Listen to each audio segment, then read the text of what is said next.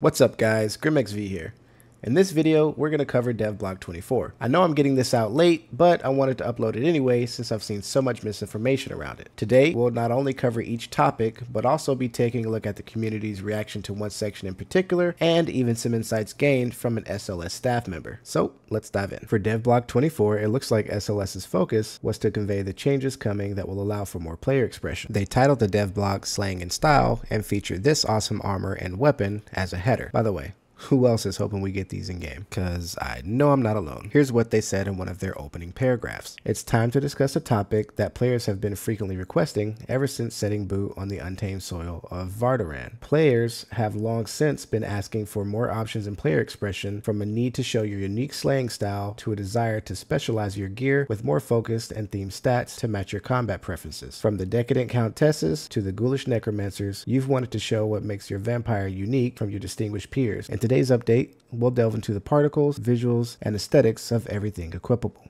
The first topic covered was legendary weapons. We've known for a while now that we're getting more armor sets thanks to the data mine that revealed the death armor. With this post, they've confirmed we're also going to be seeing another tier of weapons called artifacts. Here's what they had to say about that. In addition to obtaining higher tiers of armor, legendary weapons will undergo comprehensive rebalancing across three tiers. This update also introduces a groundbreaking tier of artifacts featuring specific and distinctive weapons for each weapon type. These weapons won't just be unique in their names and statistics, but they'll entirely modify modify the way you play with advanced weapon skills. So first off, speaking on artifacts as a whole, I really like these, but I hope they're somehow gated. Ideally as a rare drop chance for either certain mobs or V-Bloods. This would be pretty much like adding the old GSR we had pre-Gloomrot back in, but I think that's something most of us would agree the game desperately needs right now. As for the revealed GIF itself, having the additional projectiles on the Axe E looks pretty sick, but could have some serious implications for PvP depending on how they work. My hope after seeing this is that this is only one of several possible ability changes for an axe artifact rather than the sole option. If there is only one ability option for each artifact, then I personally would rather have players have to choose which ones they want instead of having access to every artifact weapon possible. Next, they dropped a huge bomb on us with changes coming to the shards. In our last dev blog, we got to see hints of what they had in store for the 1.0 open world events that'll be in the new zone. Thanks to this blog, we now know that this pipeline looking concept is tied to the shards in a big way. Here's what they said. So, why are we talking about shards in this lovely update all about equipment if they're a bunch of fancy buildings. It's because they're not buildings anymore. Shards will now be a necklace item with powerful stats and buffs and will also provide a unique ultimate ability that overrides your currently equipped one. On a PvP server or server with appropriate settings, this necklace will be one of a kind. That means to use it, you'll have to risk it. There will also be a running timer on the shard and recharging it will require going into the world and replenishing its energy at events that spawn in the final zone. It's our hope that this encourages a more active and exciting experience for everyone while also providing interesting perks and innovative gameplay for vampires who like to play it a bit more friendly. You might not like PvP, but you probably do like a novel piece of gear with exciting abilities. So pretty insane news on that one. While I'll definitely mourn the loss of my shard room, this sounds like a great change. Not only will this promote more open world PvP, but it'll also give the PvE community an active reason to get them as well. Unfortunately, to me, the text here is a little unclear whether we'll now only have a single necklace to represent the shards, or if there will be multiple variants for each of the in-game V-Bloods like we do currently. The concept ability shown here looks pretty interesting as well. I may be wrong, but my take on this is that it looks like something that would home in on the closest enemy or mob to the player. While it does suck that it's going to override our standard ultimate ability, I think the burst potential something like that has could be huge. Let's move on and talk about the armor changes. SLS announced that we'll now have even more options throughout not only the end-game, but the early and mid-game as well. They said, as part of the equipment overhaul, every other tier of armor has been expanded. In fact, we've added four armor sets with unique stats and appearances for every second tier of armor after bone, represented by the core fantasy archetypes of the primary combat focused archetypes, Brute,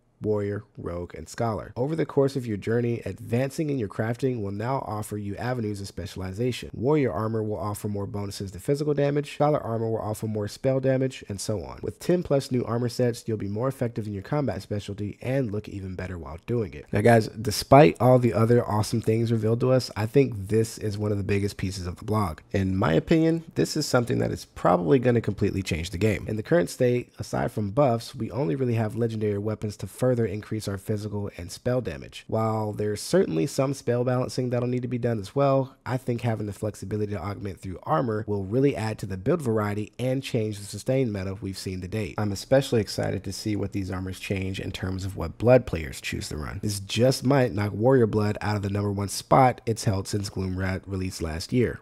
We now also know that the teaser we got on X last week was armor that'll be a part of the Rogue archetype. With that as an example, I'm really excited to see how the rest of these will look. Speaking of aesthetics though, their next topic touches on that very thing and how they'll address the lack of stylistic variety players currently have. Here's the important bit. The equipment menu has been changed dramatically and now has a collapsible section attached to each armor piece. In this new section, there's a slot where you can place any armor piece which will overwrite the appearance of anything you're wearing currently. In the same menu, you'll find a host of color palettes, which it looks like currently there's 31 in total. So not only are we getting the armor recoloring that was previously teased, we're also getting a transmog system, which, I mean, guys, that is really great to see. I did not expect that. Uh, they then go to show a few examples of this with some of the new armors as well, and every single one of those looks good to me.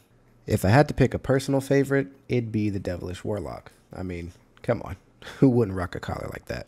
The most controversial screenshot of the post has to be this one though. They showcase a full view of the character inventory here, which shows us several things. Looking past the color palette, we see new tabs designated as attributes and blood pool. At this point, it's anyone's guess as to what these are, but here's my personal speculation. I think the attributes tab is hitting at a modifier pool similar to the current jewel system, but it's one targeted towards either the new artifacts or the new armors instead. My current guess for the blood pool tab is that it's likely related to either the new events or just has something to do with a new take on the current blood pot system. Let me know what you guys think in the comments below. We also see a new bag to the far right of the equipment bar, locked slots in the inventory below, and some new sorting options below that. My take on the bag is that it's a combined or upgraded version of the four separate bags we have now, while the lock slots may potentially have something to do with the new event or an item they're implementing. As for the sorting options, the the only one that has me stumped is this one, since it looks like the other two are an auto sort and inventory stack button respectively. To take a shot in the dark, maybe it's a new sorting option for blood pots or has something to do with the new blood pool tab. The thing that set Discord aflame Thursday and well into Friday was the new hotbar layout. Right away after seeing this, you might assume they're changing it to four weapons and four utility slots. Several players were in a heated discussion on this very thing and about losing the ninth slot altogether. Jeremy Bearson, who's the community manager for SLS, hopped on and had the following to say. Right away, Jeremy addressed the biggest concern and let players know we'll have freedom with the full 8 slots instead of the weird 4 and 4 split one might think. After his appearance, as you'd assume, the questions and comments came in waves. In response to a particularly passionate player,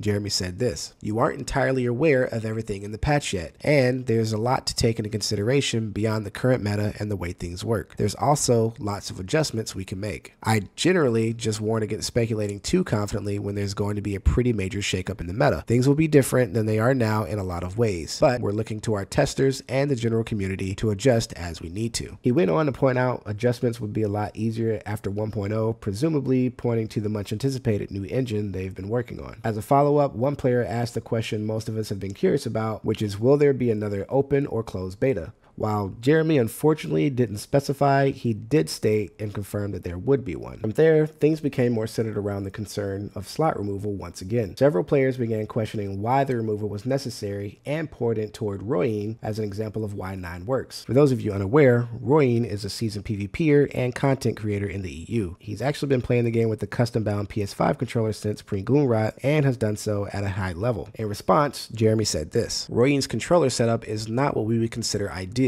and V-Rising has a lot of buttons. We've revisited the whole UI and the way controls work on console to make it fit in a way that feels good. That ended up with 8 buttons, and it works, and it works well. Not too long after this, the question of crossplay possibility surfaced, and the answer there was a simple no. To finish the subject, players asked why PC couldn't differ from console with that being the case. Jerry responded by stating SLS just wanted there to be parity. Things slowly began simmering down after that, with the last few nuggets to gleam being that the quadruple axis shown is actually one of the less mechanically interesting changes among the artifacts, and of course that sitting is 100% real. Guys, to be honest, after reading through everything, I would be lying if I said I didn't feel an initial sense of loss and disappointment at the reduction as well. However, after giving it some more thought, I've come to the conclusion that this is ultimately a good thing. No matter what side of the argument you're on, I think everyone can agree that one of the issues retaining players for the game is the skill ceiling and disparity between a new and seasoned player. I feel the change SLS made in Gloomrot did a pretty good job of making PvP more forgiving, and the reduction in slots, while honestly not a huge change, should still be a step towards bridging the gap in skill ceiling even more. Moving on to the rest of the blog, SLS's next section was dedicated to some of the artistic lighting changes we'll see in 1.0 they had the following to say. Before, we relied on the atmospheric scattering of the sky for ambient lighting. This meant that you would encounter a bit of awkwardness here and there, like the inside of your castle being affected by the morning sun and nighttime gloom. We now rely on pre-made ambient lighting data that we blend in and out depending on the time of day and the player's position. This gives the environments more subtle lighting and helps ground objects in the scene. It's also more lightweight than the previous system, saving on those precious frames per second. Now guys, I'm not going to pretend I understood the particulars and all that, but the change is definitely noticeable, and I think the new lighting looks pretty cool. The fact that we're getting frames back on top of that is just a plus. They went on to say the changes also have a big effect on the way materials are displayed, which is most noticeable in the textures of metallic objects. While it doesn't allow for perfect reflections, we can simulate much more realistic looking metal. Combined with all the new armor sets, this unlocks a whole other layer of appreciation for your fresh vampire wardrobe. Guys, looking at this blacked out Blood Moon set, I think we can all agree it looks pretty sick. I know we've been stuck with it for a while now, but we might not be putting that one down anytime soon. Lastly, the blog was concluded with a nod towards its 2024 release date. SLS stated 1.0 is currently planned to drop sometime in the second half of Q2. For those unaware, Q2 stands for quarter two and is between the 1st of April and 30th of June. So if nothing else changes, it'll drop sometime between May 15th and June 30th as a rough estimate. And that's it for today's video, guys. This was my first time covering a dev blog, so hopefully I didn't go too long with it. But if you enjoyed it, please leave a like and subscribe. And as always, thank you so much for watching. This is GrimXV signing off.